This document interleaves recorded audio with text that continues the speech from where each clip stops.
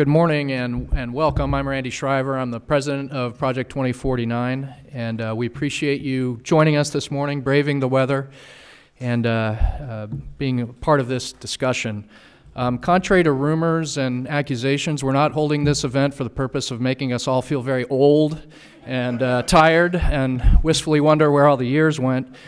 Um, the Taiwan Policy Review 20 years ago was uh, arguably after the TRA itself the uh, most significant policy development in the history of the U.S.-Taiwan relationship. And so we want to take a little bit of time and, and understand that history a little better, explore uh, the nature of that debate and, and how the outcomes were arrived at. Um, and I would add it's not just sort of an exercise of, in, in history. Um, you know, from time to time there are discussions about conducting another review or uh, uh, changing the policy in one form or another, one manner or another. And so understanding the, the previous major effort along these lines uh, could very well uh, inform how the administration or future administrations would approach the same kind of challenges. Um, we do a fair number of events on Asia. I think many people in the audience have attended our, our events. And, and I've got to say, this is one that I, I was particularly looking forward to. When you start to plan the event and you start to, to, to brainstorm and throw out names of people you'd like to participate, um, you put those names out there, then you expect, gosh, we'd be really lucky if we could get one or two of these guys. Uh, I've got to say, we, we've got uh, the A team, the people we wanted to participate in this, the people who were key 20 years ago in the, in the Taiwan Policy Review, uh, people who've been involved in the relationship for so long. And uh, I'm just, just very pleased, Bob Suettinger, Ambassador Lord, Ambassador Shen, Richard, Shirley Kan. Um, uh, I, am looking forward just to being an observer and, and listening to uh, the discussion as, as much as I am participating in it. So thank you all for, for joining us and for your attendance. Um, it's always a little risky to start uh, noting people in the audience because um, uh, there's so many uh, friends and important people and people who have contributed to the relationship. And I'm, I'm very happy to see our, our current government uh, public servants, Joe Donovan with AIT, and I saw Chris Castro, the Taiwan Affairs Desk Officer, and some of his team. Um, some of the people who were so key uh, in uh, previous administrations and efforts, Assistant Secretary Jim Kelly, Ed Ross, all the work he did, Barbara Schrage. Um, so it's, it's great to see you all here and, and have you join us for this discussion. Uh, as I said, we have a great lineup. Uh, we're going to open with a keynote address from Bob Suettinger. Bob is now a senior advisor and a consultant at the Stimson Center. Uh, I'm sure many of you know Bob's uh, history and, and the many contributions he's made uh, in public service over 25 years in the intelligence community, uh, both the CIA and, and at the NIC. Um, for our purposes today, Bob served in, in the most key position on the National Security Council staff as the Director for Asian Affairs uh, and he will uh, give us a keynote address and, and, talk about the background of the Taiwan Policy Review. Uh, comments then will be followed by Ambassador Winston Lord. He's currently Chairman Emeritus of the International Rescue Committee. Um, anybody who follows U.S.-China relations in the history knows Ambassador Lord. If you just thumb through any book of pictures with Kissinger or Nixon, you see Ambassador Lord there.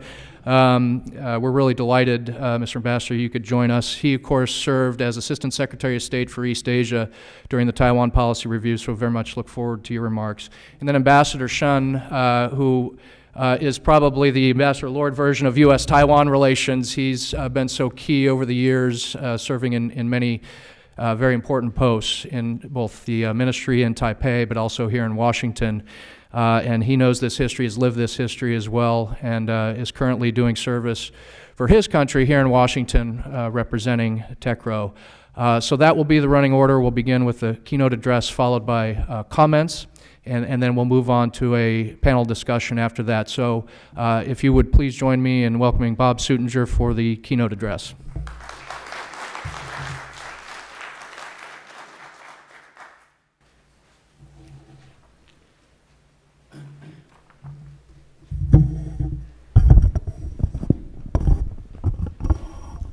Some of us need this lower than others.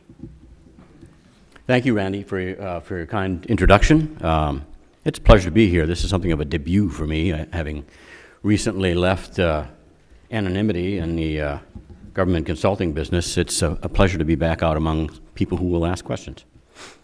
I have to say, though, I was a bit surprised when Randy asked me to come celebrate the 20th anniversary of the Taiwan Policy Review. Um, I actually didn't believe many people would remember it. Um, uh, and I, in fact, I barely remembered it myself. And fortunately, I wrote a book that, uh, that covers it. Um, so I was able to kind of go back to the, my source material and, and, and, uh, and review what happened and what didn't. I actually didn't consider it one of my shining moments in my uh, period of, uh, of service in the National Security Council. Um, it seemed like nobody in the U.S. government really, really wanted to do this. Uh, it was not something that people were, oh, let's do a po policy review. Um, it was pressured by events, uh, and I'll get into these in a minute, and by members of Congress, which, from the new National Security Council's point of view, was not a particularly happy combination. The process was detailed. I wouldn't say it was necessarily painful, but it was difficult. Um, bureaucratic trench warfare on occasion, um, but in other cases, quite a cooperative and successful uh, exercise in, in, uh, in negotiating and coordinating policy.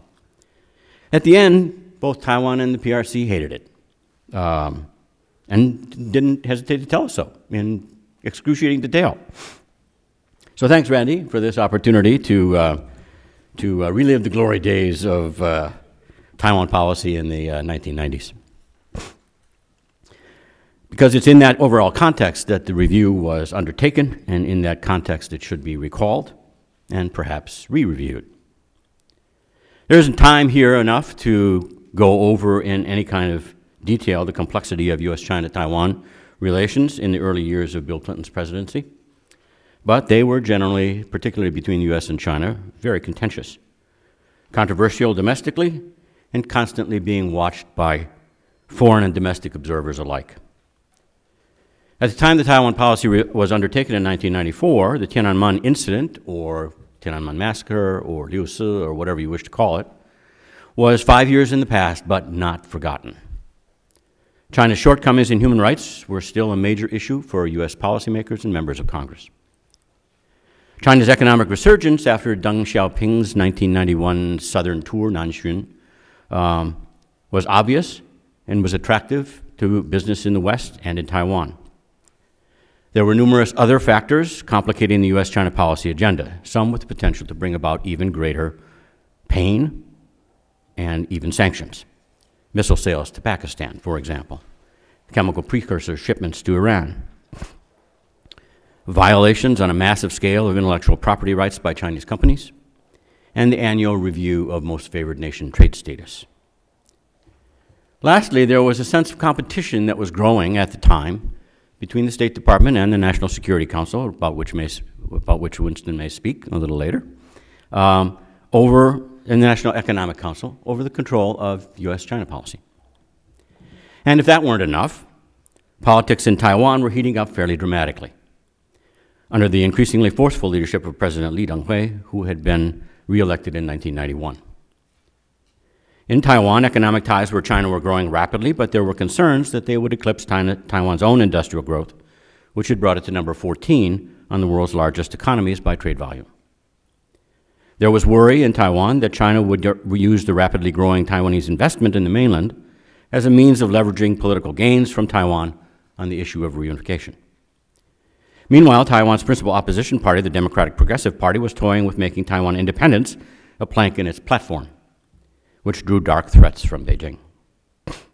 President Lee, frustrated with China's constant efforts to prevent Taiwan from playing a more active role internationally, befitting its economic strength, had begun trying to expand what he called Taiwan's international living space by developing informal ties with various countries, including what was called vacation diplomacy, whereby he traveled to several countries in Southeast Asia to indulge his love of golf, without insisting on protocol niceties, such as formal receptions. President Lee also chose to accept invitations to attend formal events in those few countries with which Taiwan maintained diplomatic relations and hoped to make travel stops in the United States along his way. Those trips necessitated a decision on the part of the U.S. government as to how the elected president of a country with which we did not have formal diplomatic relations should be treated on a stopover on U.S. territory, or even if he should be allowed to stop at all. A little more background. When the United States decided in 1978 to formally recognize the PRC as the, quote, sole legal government of China, and, quote, acknowledged, unquote, the Chinese position that Taiwan is a part of China, it reduced the relations with Taiwan to unofficial status. The Taiwan Relations Act of 1979, however, stipulated that the, quote, extensive, close, and friendly commercial, cultural, and other relations, unquote, should be maintained between the people of the United States and the people on Taiwan. That also allowed for the establishment of an American Institute on Taiwan to conduct these unofficial, but really official, business between the USG and the government on Taiwan. Between the Normalization Taiwan Relations Act and the early 1990s, no real effort had been made to codify or regularize or define the many procedures, meetings, rules of protocol, and other details of maintaining this unofficial relationship. And most were handled simply by precedent.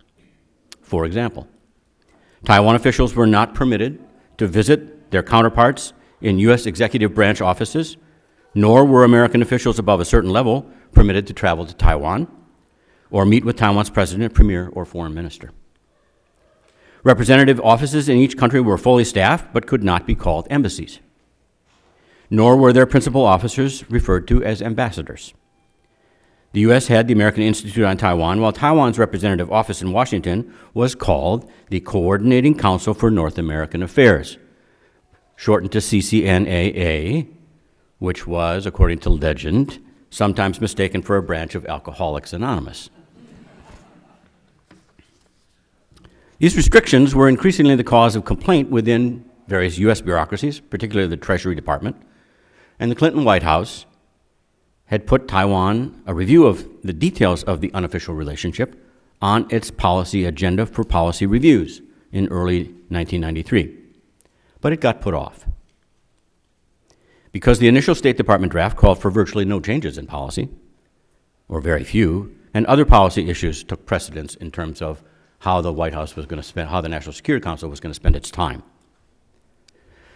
The precipitating cause of the Taiwan Policy Review, however, was the restriction that Taiwan's president, vice president, and premier could not make even unofficial visits to the United States, and its foreign minister could travel to the U.S. but not to Washington. President Lee's desire to attend the inauguration of the president of Costa Rica in March 1994 was the fuse that lit the explosion. he wanted to make unnecessary refueling stop in Hawaii or Los Angeles. And this was resisted, which created a furor in the United States, pitting Taiwan's many admirers in the U.S. Congress and the media against the State Department. the department had first tried to prevent any stop in U.S. territory, and then relented to permit a refueling and rest stop at Hickam Air Force Base in Honolulu, where President Lee was provided a very spare reception, kind of the cheese and crackers and carrots sort of thing, um, to which he responded after his plane landed, being told about the nature of the reception, by refusing to get off the plane. That created a more of a media furor, and eventually the story was that he was not allowed to get off the plane. Uh, and people were happy to tell that story because it made everybody look bad. So the policy review was back on the agenda uh, after the media furor died down. The policy review itself was more or less a congenial affair.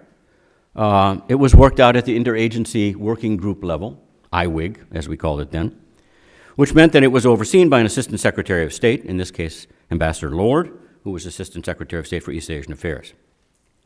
Higher level officials at the National Security Council and the State Department were kept informed of issues and progress, and the process was completed within the National Security Council channel by an action memorandum drafted by the NSC and signed by the President.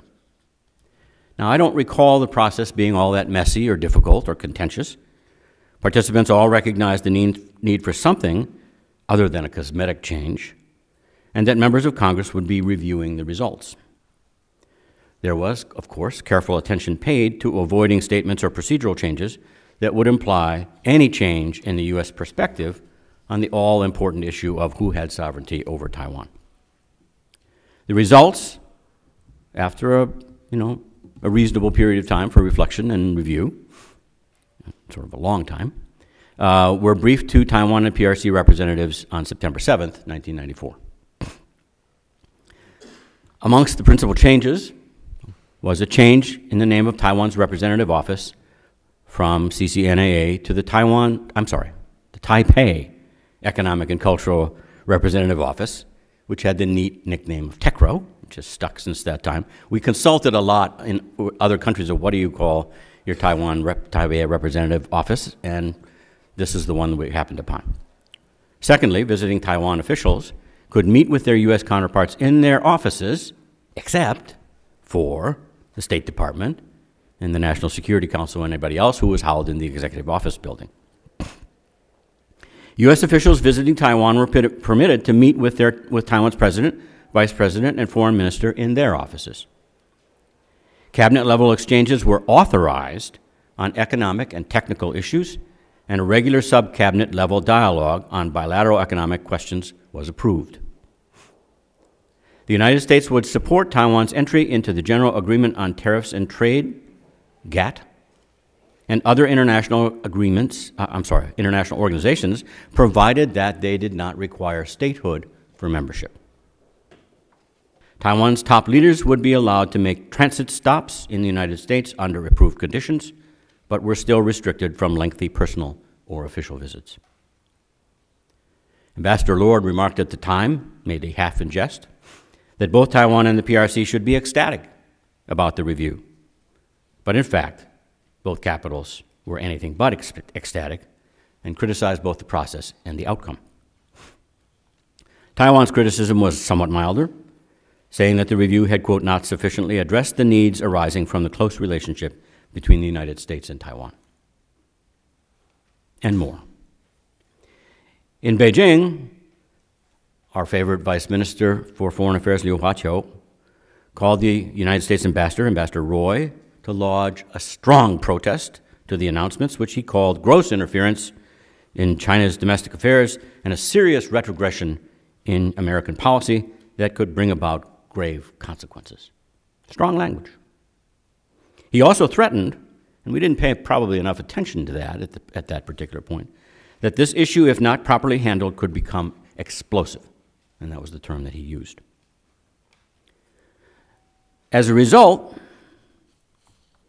the slow rolling crisis in U.S. China Taiwan relations continued to worsen, building to a near showdown in April 1996 when China launched medium range ballistic missiles into the Taiwan Strait, and the United States responded by sending two aircraft carrier squadrons to the region. And the rest of the story I will leave for other discussions. It might be tempting with perfect hindsight, to look back at the Taiwan Policy Review as a failure, perhaps even a precipitating factor in the ensuing crisis. President Lee continued to press against the limitations on his travel, and with strong congressional pressure and ultimately presidential acquiescence, he made a very highly visible and very controversial visit to Cornell University, where he made a speech that was unofficial but not really.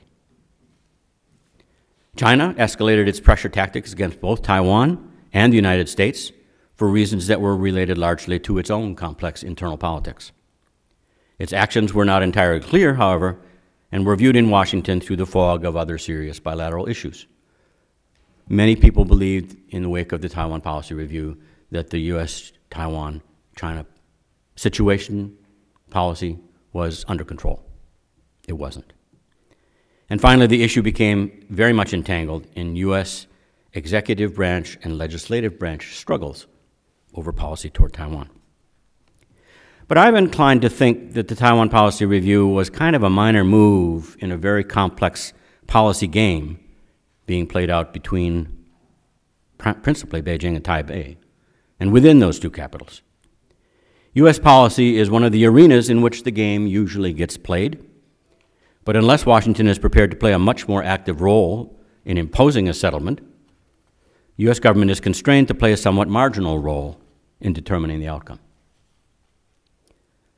So let me conclude with a couple of the lessons that I take from this experience in triangular relationships.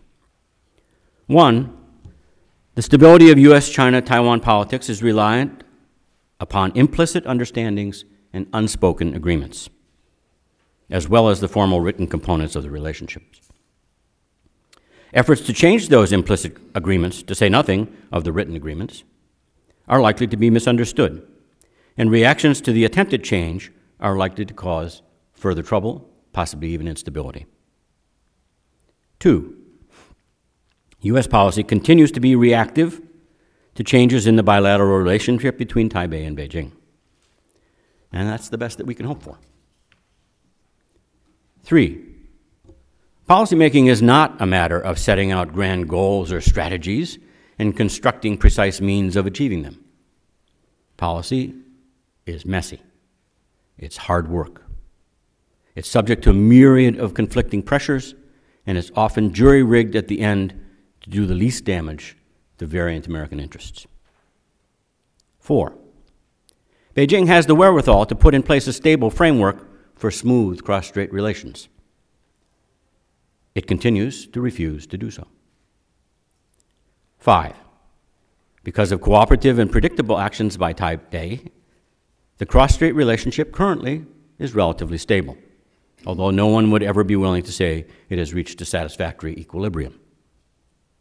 It remains, however, fraught with hazards, misunderstandings, distrust, and it has the potential to deteriorate rather quickly into a situation that might entail dire consequences. So that's my spiel.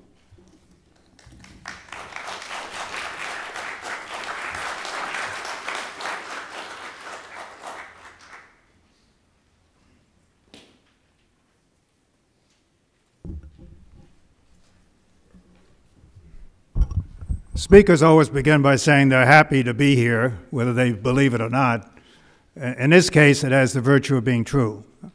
Uh, I see many old friends, many of whom I've worked with, so I'm pleased to be here uh, with Bob, Ambassador Shen, and I won't start naming everybody because I've only got 10 minutes, but there are many good friends and colleagues and experts uh, uh in this field. Let me make first some comments on the Taiwan policy review process and then some general comments on Taiwan policy. I don't have time, but I'll be happy in the question and answer period to get into other events in the 90s, including the Lee visit, with which we have some disagreements, uh, as well as the missile crisis or anything else you want to get into.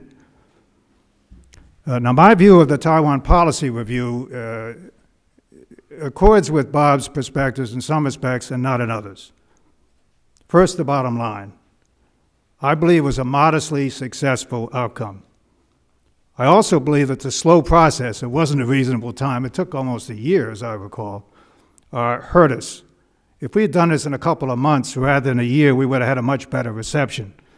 But during this extended period, pressures were applied, expectations were raised, and so many were disappointed, or at least professed to be disappointed in the outcome. In fact, as Bob outlined, we cleaned up many anomalies in U.S. Taiwan relations, and I think we made some significant improvements in our relationship. And as for reactions, Beijing was going to complain no matter what we did, let's face it. And I've measured decibel levels because I've been the recipient of Beijing complaints about Taiwan over 40 years, and the level was entirely manageable in this one. Uh, but out of principle, they had to uh, uh, make some statements.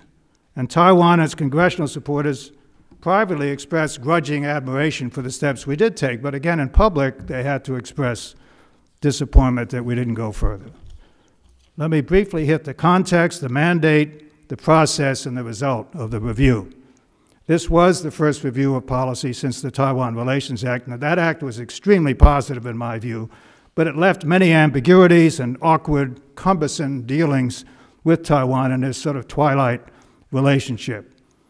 You had this god awful name, CCNA, it was so cumbersome.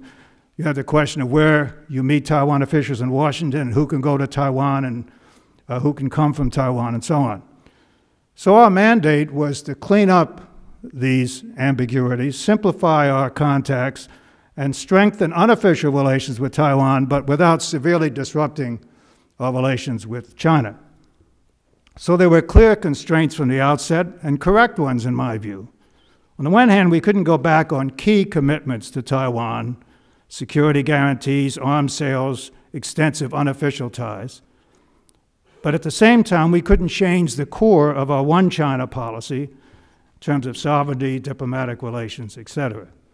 Thus, the results were destined to be modest, less than Taiwan and Congress wanted, but bound to annoy Beijing. Process. Thus, we ruled out straw men or straw women uh, from the outset. Uh, that would be bold in either direction because they'd be unacceptable geopolitically and politically. And I don't believe anyone in state, White House, defense, or the economic agencies felt we should be bold in this, in this process. There was some debate, and as you say, I don't think it was particularly passionate within the administration on how to maneuver within these uh, parameters, but frankly, I don't recall huge uh, intemperate uh, discussions or real passion or real tension. The problem, as I said, is it took so damn long, about a year, which is ridiculous for the size of the issues involved. Uh, in my view, the major reasons for the delay, besides this debate, was White House inertia. It's a very sensitive issue, very difficult to schedule meetings and to get the White House views. I don't blame Bob for this. Uh, I blame people at a higher pay grade. Thus, during this period, Taiwan continued to pressure Congress, Congress continued to pressure us, and expectations, as I said, were elevated despite my assiduous backgrounding to the press and my constant meetings with Taiwan representatives to lower their sights. Results. Bob has summarized these. TECRO instead of CCNA, cabinet visits to Taiwan of an economic nature. There'd only been one, as I recall, Carla Hills's uh, visit. Uh, otherwise, we hadn't sent these kind of people. Uh, where we would meet top officials in Taiwan, much easier meeting of Taiwan officials in Washington, sub-cabinet dialogue, clarifying guidelines of who could visit from Taiwan officially from the, uh, to the U.S., and strong support in international organizations. Where required statehood, we would uh, press for a voice for Taiwan in some way, observe for others, and where it didn't, we would push for membership. We had already put this into a practice at the APEC summit meeting in November 93, which raised Taiwan's participation in APEC, which is already there, to be a delicate issue with Beijing, because now we had heads of state. Uh, and we worked out a, a, deal where cabinet level officials for Taiwan uh, could attend. so all these constructive steps, not radical, but constructive, were within the constraints and the parameters I've outlined. And if we had done them quickly, as opposed to taking a year, I do think the reception would have been markedly more positive. so after this year, as I've said, Taiwan was bound to be lukewarm and Beijing was bound to be lukecold. Uh, and indeed, the fact they protested, although as they say the decibel level was controllable, suggests that in fact this review did have some meat uh, in its outcome. By the way, of course, I didn't say both sides would be ecstatic, or if I did, it's out of context. No, if I did, I was obviously being sarcastic and ironic. I knew both sides would be disappointed, uh, but I also knew privately that it wasn't as passionate as their public positions would indicate. Let me now make, in my remaining time, some more general comments on Taiwan policy during this period, but I can't, uh, and since, but I don't have time to get into all the issues, obviously. I have always been, and I will continue to be, a strong supporter of Taiwan and U.S. Taiwan relations. I met, as Ambassador Shen and I were discussing earlier, I met with the Taiwan representatives in Washington more often than any ambassador from the region. I briefed them continually on relations with Beijing, including meetings and trips from the summit level down to my lowly level in the U.S. and in China. I was a strong supporter then and will continue to be of arms sales uh, to Taiwan high level visits. I believe our policy toward Taiwan over the decades has been one of the great American diplomatic achievements in recent decades. On the one hand, we've advanced relations with China despite its vociferous positions on this issue, uh, but at the same time, we've continued to strengthen our ties with Taiwan. And Taiwan has become one of the world's great success stories. Uh, this is above all due to the Taiwan people and their enlightened leadership. But I do think the security blanket and the psychological and political reassurance, as well as the unofficial ties, has helped Taiwan make these advances. First, to become one of the world's leading economies, then to show that Chinese love democracy too, and to have a real democracy uh, in, in Taiwan. So, U.S. policy on Taiwan, the success that I've suggested, I think is in part due to bipartisan approach on this issue. Boy, I'd like to see more of that up here on Capitol Hill, wouldn't you?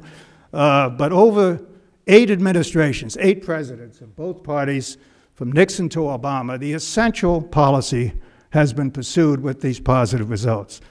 So, in conclusion, looking to the next panel, uh, I would say that the last five years in cross strait relations have been the most stable since 1949, thanks to enlightened policies by all three key actors Beijing, Washington, and Taipei. But rain, maybe storm clouds, are ahead, despite the spin on both sides of the strait that everything's on track. Beijing sees growing Taiwan identity. It sees polls that show there are more people against reunification now than there were when the economic links and the Ma policy started five years ago. They see the sunflower movement. Taiwan sees the worst crackdown in China on free expression and other areas since Tiananmen Square, and it sees the squeezing of Hong Kong, not exactly an advertisement for one country, uh, two systems. So U.S. steadiness and policy will be, will be tested. And my strong view, to finish up, it's not broken, don't fix it. Despite growing problems with China, don't make radical moves in Taiwan that would blow up our relations with Beijing. But also reject the apostles of appeasement who would downgrade our ties with Taiwan and would reduce or even stop arms sales. This would be a violation of our historical, legal, geopolitical, and moral obligations. It would unnerve Taiwan and undercut its security. It would embolden Beijing it would send a dangerous message on U.S. credibility and stamina to our allies and friends. In short, no new communique, no new Taiwan policy review. Thank you.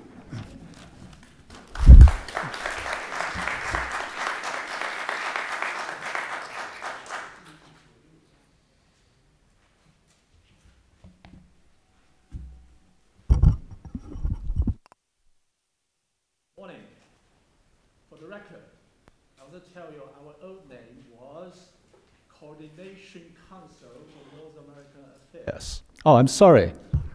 Now, can you hear me? Coordination Council for North American Affairs. And that time they said there was a NGO in, excuse me, in suburban, in suburban Washington, D.C. Also have the same kind of abbreviation. It was Chevy Chase Non-Alcoholic Association. My dear friends, thank you so much, two gentlemen. We thank you for your nice words about Taiwan. And uh, for me, it's not just a, a, pleasure, but it's an honor to be with both Ambassador Lord and uh, Mr. Suettinger. And because you are the two key players in the making of Taiwan policy review in 1994. I was the director of a congressional liaison for the Taiwan mission at that time. It's called CCNAA, as you know.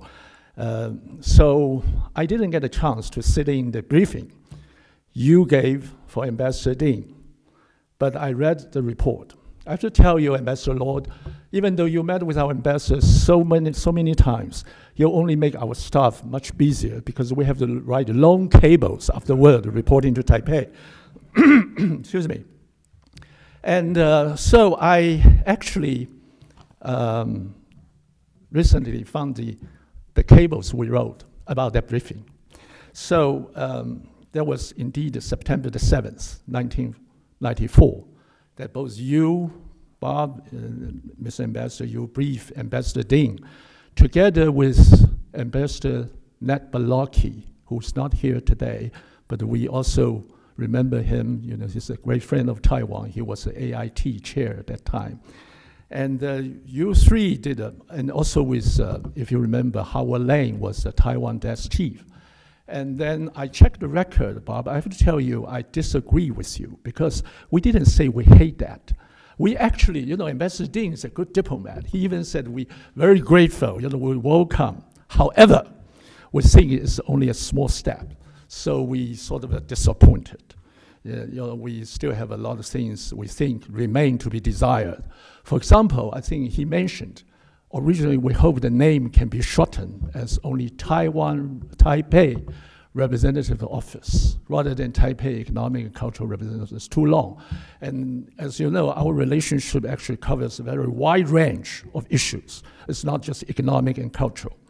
And uh, but I do agree with you, um, Bob, because as you said, the Taiwan, the Taiwan Policy Review was the end result of many events and the, the pressure from U.S. Congress. I think in a way I'm responsible for those pressures because I was a director for congressional liaison. You probably could have hated me for that. and the, um, um, let me just highlight, since you already outlined a lot of events, but I want to highlight a few elements I think is very important to which uh, make it conducive or which make it almost uh, uh, mandatory for a change. The first element is the general environment. As you know, that's already 15 years have passed since the United States derecognized Taiwan. But Taiwan remains strong. Taiwan has been doing all the right things. Taiwan not only is still a very big, vi vibrant economy, can you imagine that time we were your sixth largest trading partner, and we already have a new democracy a fully representative democracy, as Ambassador Lord, you alluded to that in many congressional hearings. I remember that because I was there. And then we're doing all the right things. And can you believe that time, Taiwan as a market for US goods is still twice as large as China market to you. I checked the figures, to 1993, your total export to Taiwan that year was $16.1 billion, but your total export to mainland China market was only $8.7 billion. So Taiwan's still twice as big as mainland China to you as market. Taiwan doing all the right things, but Taiwan didn't receive the right treatment.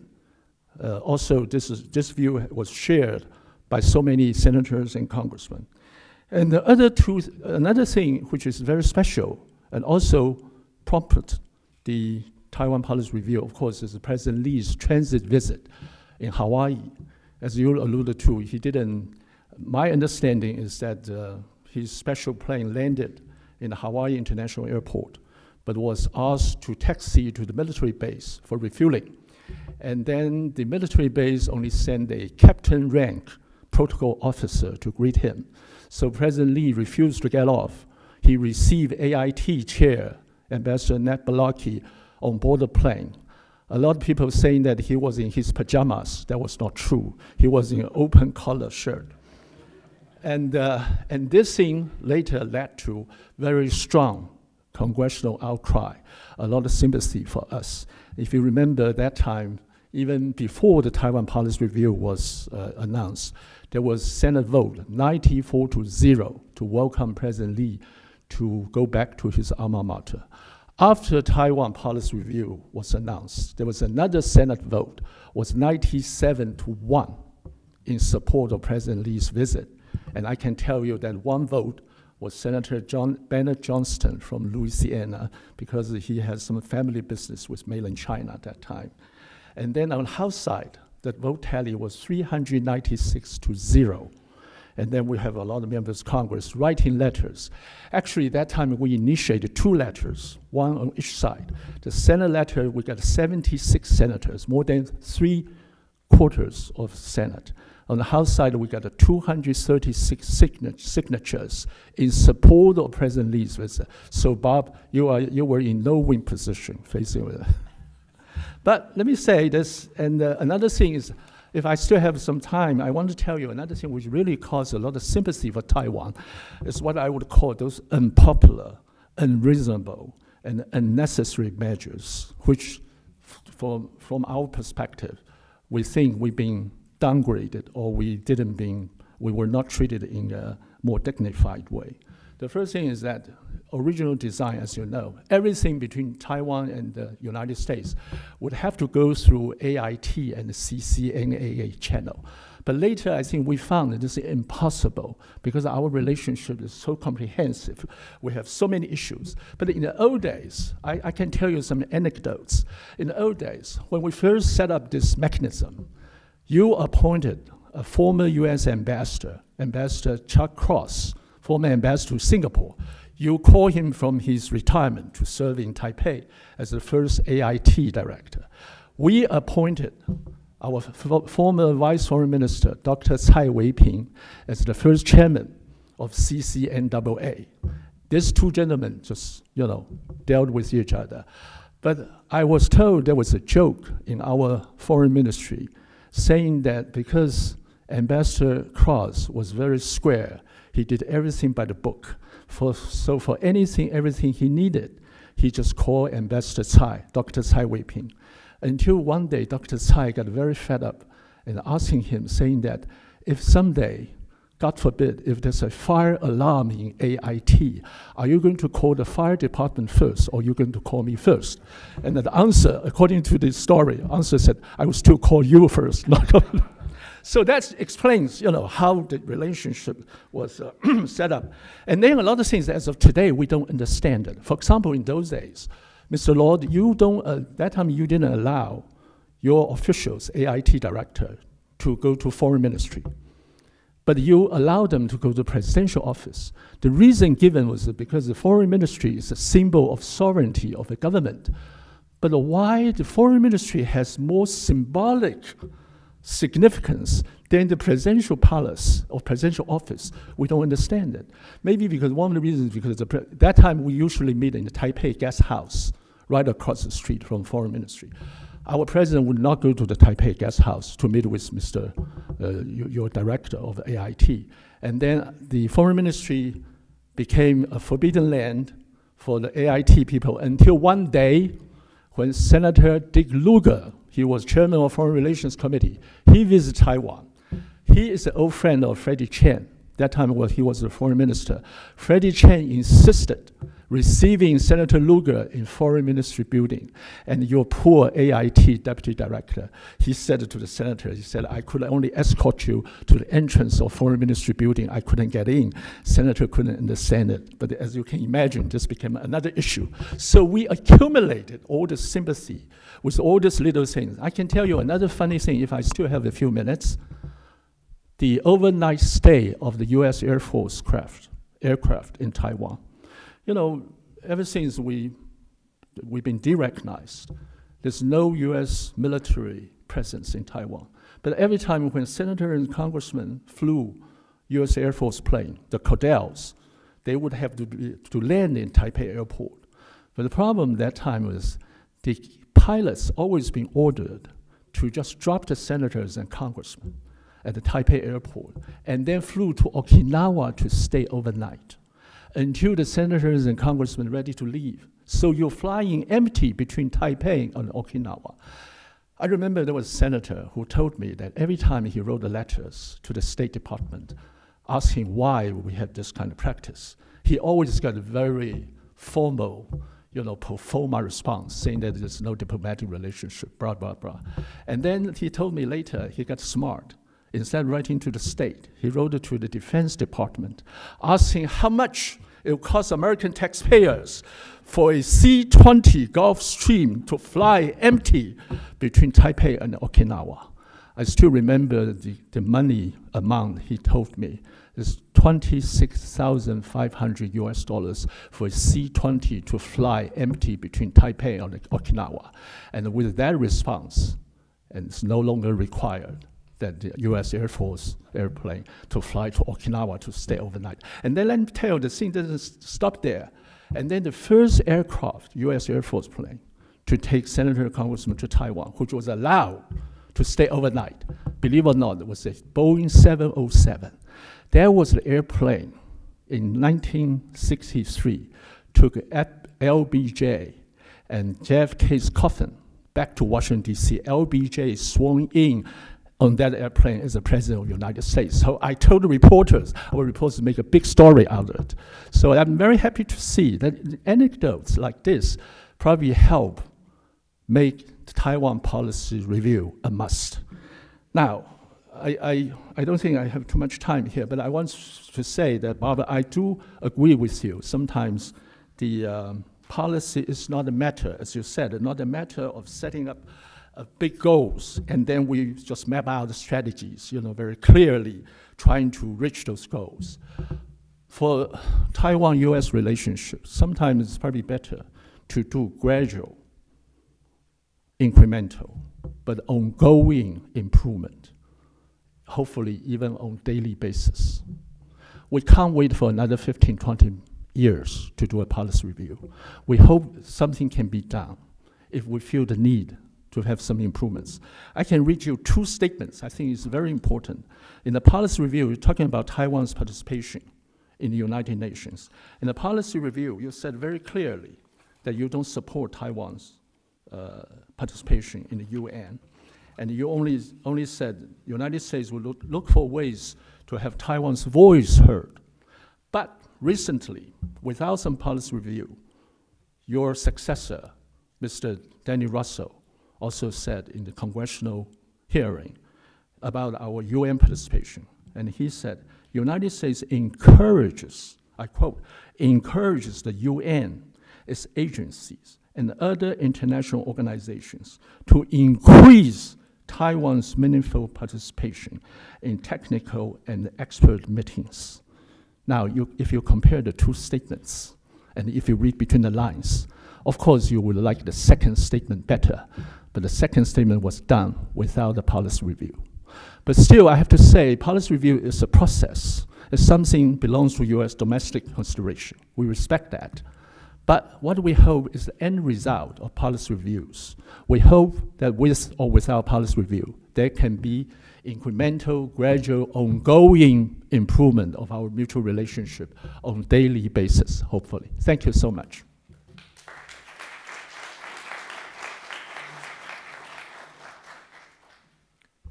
Thank you. Could I, could I invite you back up, uh, if, if you're comfortable uh, seated, or uh, we have about 10 minutes standing, is uh, either way. Yeah, one, yeah. If you don't mind, for question and answer or stand. Um, Thank you very much. Uh, We can open the floor now for questions, and, and as you're formulating questions or thinking about it, uh, perhaps I should give uh, Bob as the keynote address and the person who uh, listen to the commentary. Did you have any reaction or want to say anything further? Uh, or should we go right to I the don't. floor? I now know who the troublemaker was. uh, that- I have, uh, in fact, most of what was said, I, I, I agree with completely. Um, looking back on the process in retrospect, um, you know, when you're, when you're doing things on a day-to-day basis and, and, and your schedule is, is packed from, you know, nine o'clock in the morning until six o'clock in the evening, you don't necessarily focus on a lot of the details. And, and, uh, and so it was, it, it was reassuring and, and, uh, and again, I, my, my basic position is, is one of agreement. Um, this was and remains, uh, a difficult, controversial issue, uh, that, that requires attention and, um, and is important. And so we need to continue to, to, uh, to, to give it the kind of uh, focus that it deserves, uh, and I certainly support that as, as a general rule. Winston's commentary on, on, on the holdup uh, being uh, at the NSC is absolutely correct. Um, At, at that particular point, there was a fair amount of uh, fluidity in, in the National Security Council. There were changes uh, being made in, in the, uh, in the, in the, in the East Asia Directorate, in the Asia Directorate, and um, a, a lot of things kind of fell between the cracks, and it was only the, um, uh, the pressure that we felt from the Congress uh, and from the course of events uh, that kind of got us rolling. But once we did get rolling, I think we got it done all right. But, uh, but nonetheless, it was, it was a process that was delayed. I don't know whether that delay had a serious effect on, on subsequent events, but there's no question that, that the NSC was slow to pick up the ball. the permission of the panel here, we might go a couple minutes over uh, for Q and A, but uh, Walter, did you want to start? And there's no, I apologize, there's no microphone, but uh, we'll pick up the. We can hear you. I wanted to follow on something that uh, Professor Shen uh, talked about, which is how mystified the process is for deciding what is official, what's unofficial, et cetera. We pretend like it's the TRA, it's the three communications, six assurances that you're sitting down looking at these pieces, you're deciding what's legal and what's not legal. But something doesn't go from being a sign of official recognition one day and unofficial the next day. So one day you know, have the officers can't leave Taiwan, the next day they can. One day the the president can't leave fuel in the United States, the next day he can. Look, you know, the, the use of, uh, use of Twin Oaks for reception. One time that was a, rec- that was a sign of recognition for Taiwan. Now, so what was the base, what was the framework on which you were making these decisions? Is it just your gut feeling at the time about what the Chinese would think about it? Did you have internal constituencies? Did you have calls from the Chinese embassy telling you to do this, that, and the other thing? How did you, what did you use as the basis for making all of these very difficult to understand distinctions? Want me to start? First, I'm glad you mentioned Twin Oaks. That's where I had my wedding reception. Uh, I, I think the reason this policy, this policy meaning toward Taiwan and toward China, has worked is precisely because of the twilight zone that you're talking about. If you get too precise, uh, you get in trouble. Because this is a balancing act, and I do think successive presidents and administrations have handled this extremely well. We've had some problems. Uh, so, to answer your question, uh, and as Bob suggested, sometimes it's reactive, but I think successive administrations, including during this period, wanted to strengthen our unofficial ties without disrupting the relationship with Beijing, which is extremely important in our national interest. And so this meant, as the Ambassador Shen said, incremental steps, uh, ambiguous steps, uh, and I, I don't apologize for that. I think it was uh, the only way to handle it. I think it, in many ways, is still the way today. As Ambassador Shen say, I think we should continue to try to strengthen relations with Taiwan, but I think it's done better, incrementally, de facto, without a lot of fanfare and raised expectations. Now, while I'm on it, let me take one example of this uh, stop in Hawaii. Uh, people forget that this was the first time any Taiwan president had ever stopped in the United States. So we feel that, that we felt that this was, however modest, a step forward. It set a precedent. Uh, of course, President Lee wasn't entirely happy, but I can tell you Beijing wasn't entirely happy either. It's another example of a balancing act. I sent my top Taiwan person out there. We did invite him into the VIP lounge. And for six months, for all I know, even today, the word has gotten around, uh, as I think Bob alluded to, that he wasn't allowed off the plane, which is, of course, total nonsense. It was like the Energizer Bunny. I couldn't stamp it out. Uh, so it's, it's an example where we felt we had to make a step forward. We thought by doing it in Hawaii rather than Los Angeles be less provocative, but it still was a major new precedent uh, and didn't deserve the vitriolic reaction it got in certain quarters.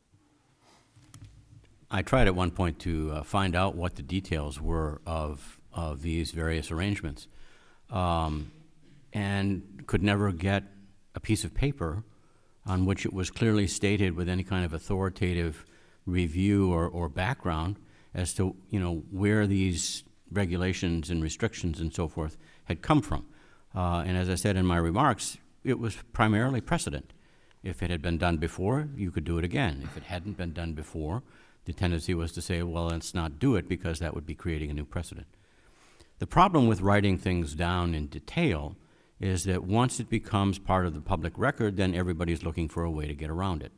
Uh, and and that, that, is, uh, that is true both of, of policy statements uh, and, and of statements for the record of any kind.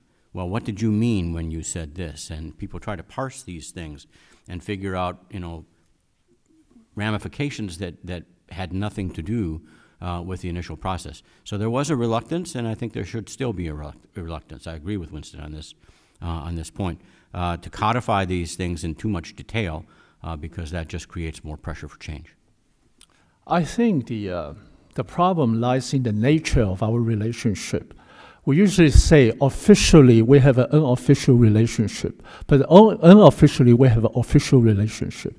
So something like President Lee's visit, I, I was told by a senator, he was puzzled. He, he asked me, he said, why the U.S. government didn't let President Lee come? If you don't recognize Taiwan, so President Lee is no president, he's only a private citizen, so he's entitled to come here. But it seems now you, you consider him the president again, so you couldn't let him. And he said this is a double denial. So this is why we, the real practitioners of U.S.-Taiwan relationship, sometimes get very confused. We don't understand the rationale behind the things. I can tell you another thing: our defense minister couldn't come, but the chief of general staff could. could. So a lot of things is this inconsistency there.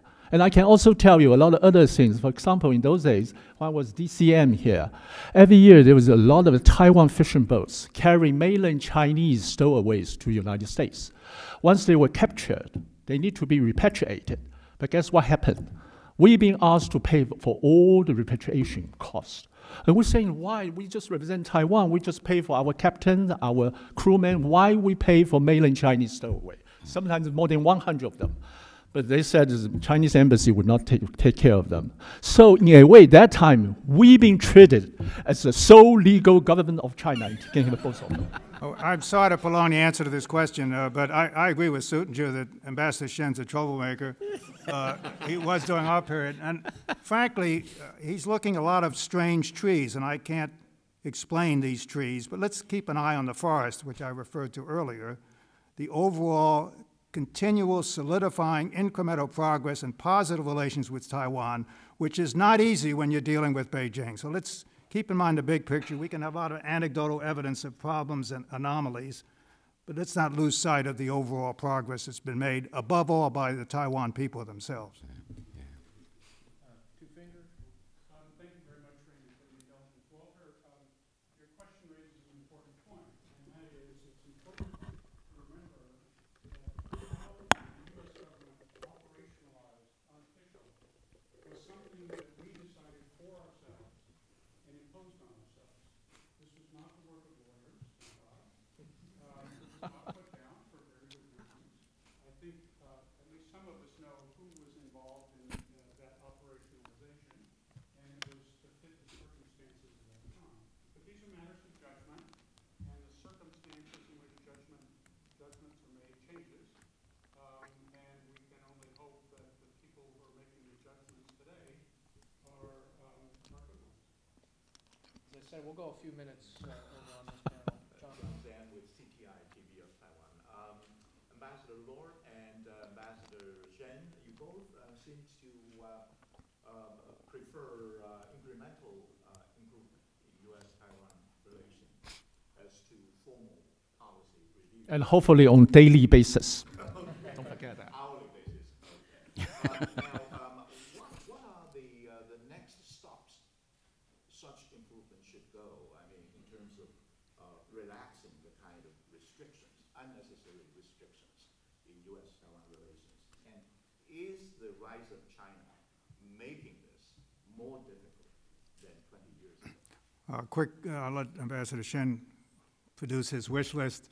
Uh, I have one specific suggestion. I think we should come out strongly in favor of Taiwan joining the TPP. Uh, that is an extraordinarily important initiative for overall Asian policy. It's very important for Taiwan's economic and I would dare say political future. So that would be one specific thing I would do. Uh, others, uh, I won't get into detail now, but I, I do agree with this uh, incremental process. But TPP is no issue because Taiwan is already a member of the WTO and uh, the U.S. already welcomes Taiwan's aspirations for joining the TPP. Well, not full-throated welcome, in my understanding, and I, I just think we ought- should should carry that process uh, more uh, vigorously uh, forward. Is China making it this difficult? Oh, yeah, well, look, look, there's no question, the reason you want incremental progress is we are trying to manage policy with Beijing at the same time. We want good relations with Beijing. I think we're heading for some real problems with Beijing, to be honest, and I won't get into that now. Uh, But it's another argument for not having a full-throated review where everyone gets excited and everyone's going to be uh, disappointed. Uh, I think there's I think there's actually unanimity on that, on that point. I only have a short, short answer for your question. You just wait and see. And then I would say, hypothetically, if today Ambassador Lord became Assistant Secretary or even higher position in U.S. government, Would we would higher. like to invite him back to Twin Oaks for another honeymoon. And Ross, looking back, not just back twenty years, but just looking back over the whole history of the Taiwan-US relationship, uh, a- as Richard says, these are judgments, they're subjective judgments. Do you think that we've gotten it right or we've been overly conservative in, with arms sales in DOD, for example? We always felt that a lot of things that we got out of State Department and and the NSC were, were far worse than they needed to be, that, the, and if you look at the study that twenty forty-nine did on PRC reaction to Taiwan arms sales, um, uh, US-China relations actually improved during periods after major arms sales. Now, I realize it's difficult to ask you to criticize yourselves, but the question is, do you think that all those decisions were, were just about right, or that we could have pushed the envelope a little bit more? Well, of course, I think our record is perfect. We made no, no, no mistakes. Uh, There might have been individual cases. I know I, and I believe, I remember Bob, are always receptive to meaningful uh, Taiwan arms sales of a defensive nature. I think there's other things you can do that are just as important for security and the things that Taiwan itself can, uh, can do. One positive thing that occurred was to get rid of this sort of annual deadline policy review where everyone got excited. It's a sort of analogy to the general policy, and so things have sort of spun out. Now, I have to disagree with you. When we've had some problems with Beijing when we've had Taiwan arms sales, particularly Bush's ones with the uh, with the airplanes. So, uh, so the answer is, I'm sure we can go back and look at some individual steps on arms sales or other aspects of our policy that were not perfect. But on on balance, as I've said, and Bush is giving you a better answer than I can, I guess. No, I'll, I'll finish my sentence. On, on balance, as I was saying, uh, I think we've done a hell of a good job, we being eight administrations. And I don't think we've been too conservative. I just want to add, when President Bush Sr. made a decision to sell us 150 F-16s, there was no policy review at that, at that time. He did that before the policy review. And before the election,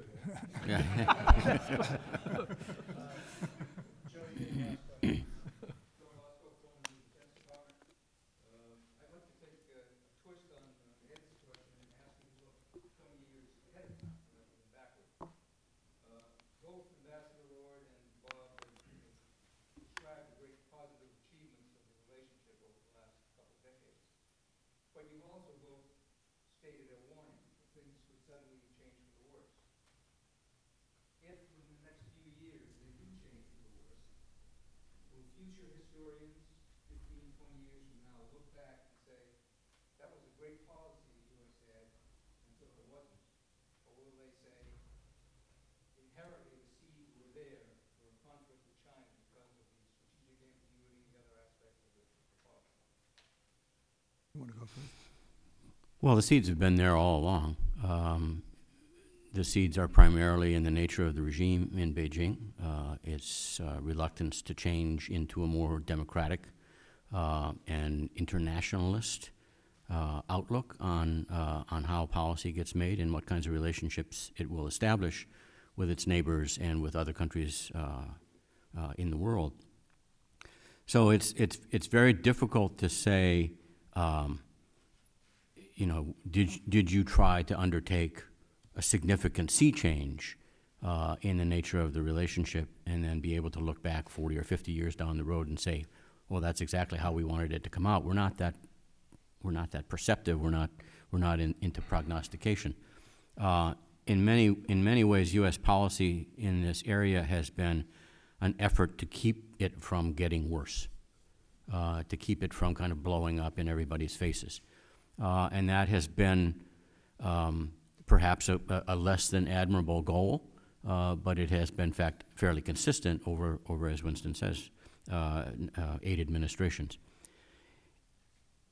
I don't know that um, that there won't be trouble down the road. I don't know that there will. Uh, as, as I said in my, in my presentation, a lot of the dynamic here is really based upon uh, internal politics in both Beijing uh, and Taipei. And I would say, just you know, kind of con to conclude my remarks, I am more confident of the political stability in Taiwan than I am in the political stability in the mainland.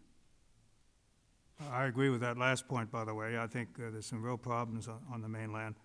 Uh, I do think, in all fairness, that Hu Jintao, and so far Xi, has been enlightened on this policy, dropping the pressures on reunification, trying to tackle the easy problems first. They think time is on their side, uh, but whatever their motivations, I think uh, they have helped stabilize the relationship, as has President Ma and his efforts, as has enlightened U.S. policy. I repeat, I don't think we should make any major sea changes. If thing gets worse, chances are it's going to be Beijing's fault.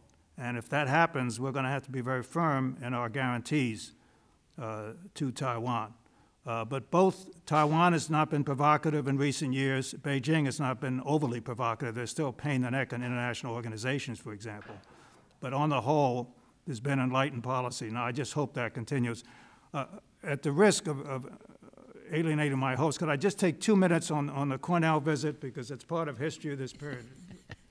I don't know what I'd do if you say no, but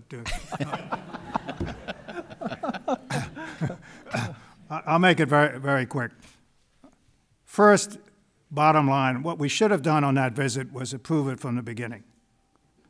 Because on the merits, why can't someone go back to their alma mater, uh, and, and why can't he visit unofficially? So when I got beaten up by Congress, uh, my problem was I was defending our position, but I agreed with the Congress.